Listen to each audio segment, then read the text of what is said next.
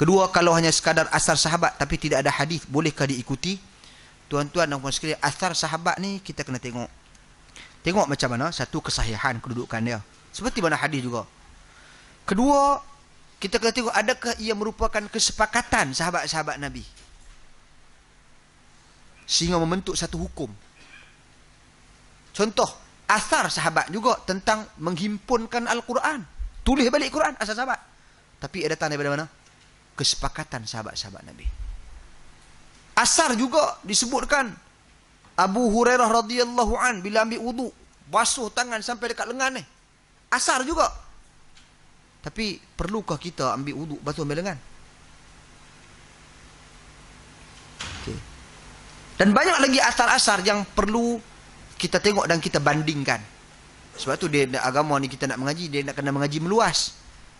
Sebab tu antara prinsip dalam kita nak faham nas Quran dan sunnah. Hadis khususnya, Quran satu, hadis. Cara nak faham dia antaranya al-jam'u, himpunkan riwayat dulu, kena himpun. Himpun, himpun. Contohnya kita nak faham kenaan dengan salat.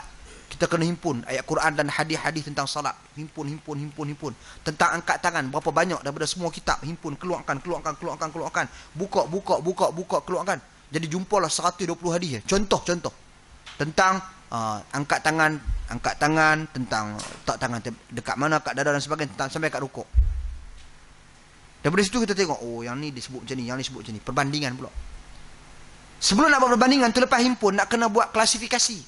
Sahih ke tak sahih? Yang ni tak sahih buang tepi dah. Selesai. Tolak tepi. Tak sahih tolak tepi tu.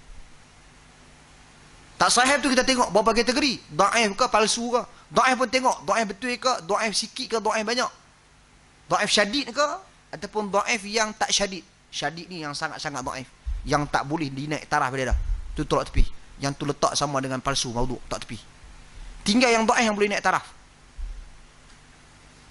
Sebab apa? Sebab saat lagi dia boleh dibantu dengan riwayat yang lain yang mungkin akan menyokong dia. Jadi kuatlah. Contoh kita katakan ada seorang lelaki ni dia ni bukan penipu, dia tak penipu. Tapi dia kurang ingatan dia lemah sikit. Tuan-tuan dan sekalian. Contoh apa ni ustaz cakap berkenaan dengan benda lain. Ustaz cakap berkenaan dengan makan dengan tangan kanan. Dia pergi cerita kita salam dengan orang ustaz kata salam dengan tangan kanan. Betul juga dia kata tu tapi riwayat dia tak betul. Orang cerita bab makan dia cerita bab salam. Pasal dia lemah ingatan dia. Tapi sekiranya tiba-tiba datang seorang lelaki yang dipercayai, dia ni dia memang dipercayai, dia memang ingat. Dia pergi habang kata, eh, betul ustaz cakap tadi makan dengan tangan kanan. Ustaz tak cakap abad salam. Ataupun betul ustaz cakap abad salam, dia, dia cakap cakap betul. Jadi dia telah menyokong riwayat lelaki tersebut. Jadi riwayat dia jadi naik taraf. Boleh diterima. Sebab tu kita kena letak tepi ustaz tu. Lepas himpun semua ni. Lepas tu lepas, selepas selesai semua himpun semua. Dan selepas selesai, bahagikan yang mana yang sahih, yang mana yang da'if dan sebagainya. Baru kita beringkat seterusnya kita nak kena buat nak tengok. Ada tak pertembungan antara nas-nas? Oh yang ni kita tak angkat yang ni kita angkat. Macam mana ni? Yang ni kita letak kat sini yang ni kita ni. Nampak macam bertembung ni. Kita nak buat macam mana? Kita kena fikirkan macam mana apa kaedah untuk kita beramal dengan semua? Sebab semua sahih. Kalau tak sahih lain cerita. Tolak tepi dah. Tapi nampak macam pertembungan. Oh ni rupa-rupanya boleh kita kategorikan sebagai kepelbagaian. Kepelbagaian. Sebab kadang-kadang Nabi angkat macam ni. Kadang-kadang Nabi angkat atas sikit. Kan? Kadang-kadang Nabi letak macam ni tangan dia. Kadang-kadang Nabi letak macam ni. Kadang-kadang Nabi SAW Allahu Akbar baru angkat tangan. Kadang-kadang Allahu Akbar sama dengan Allahu Akbar tu angkat tangan. Kadang-kadang ruk, turun dulu. Allahu Akbar. Oh ni kita boleh terima sebagai kepelbagaian.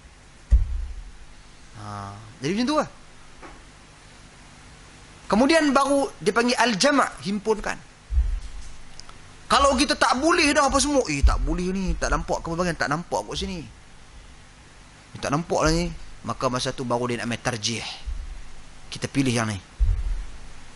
Pasal apa? Pasal yang ni mungkin Nabi SAW dia sebut sebelum hijrah. Contoh. Contoh bismillah, bismillah pelan orang duk berkelahi tak habis kan. Oh, yang ni Nabi sebut selepas hijrah. Selepas hijrah ni Nabi perlahankan bismillah. Masa di Mekah, memang Nabi kuat baca bismillah. Bertembur ni. Takkan kita kata kadang-kadang aku kuat, kadang-kadang aku pelan. Jadi satu pendapat kata tak apa, boleh dua-dua. Pelbagaian. Satu pendapat kata mana boleh. Dia kena pilih satu lah. Jadi ini realiti yang berlaku. Jadi cara nak faham ni bukan sikit, luas. Macam tu juga asal sahabat Nabi. Nak kena tengok. Nak kena himpunkan riwayat. Kalau ada sokongan dan dukungan, hal kalau hal tu tak menyanggahi dengan apa yang Nabi bawa, bahkan menyokong apa yang Nabi bawa, okey, boleh fine, boleh boleh boleh laksanakan. Boleh buat. Teruskan. Tapi kalau dia macam ada kelainan sikit, contoh, Nabi pi hari Arafah, hari di Mina, Nabi qasar salat. Di Arafah, Nabi jamak salat. Di Muzdalifah, Nabi jamak salat. Ini perjalanan haji. Tapi tengok-tengok Osman bin Affan dia tak jamak, dia tak qasar. Nak ambil mana? Oh, kita ambil Osman ni. Ah, tak. Ada tak sokongan daripada sahabat-sahabat lain? Kalau ada sokongan, Abu Bakar buat macam ni, Umar buat macam ni, ni buat macam ni. Dia dah jadi satu hukum, bentuk ijma'. Tapi rupa-rupa cek balik lah, Osman seorang ya. Yang lain semua ikut ikut Nabi SAW. Dalam bab ni, kita mungkin istihad Osman bin Affan dia rasa dia balik kampung rumah dia Nabi pun sebenarnya balik rumah Nabi SAW Mekah adalah tempat asal Nabi. Tapi Nabi dalam perjalanan haji Nabi qasar Nabi jamak salat. Kena ambil Nabi jadi nak kena tengok juga isu asar yang mana satu. Ha? Wallahu a'lam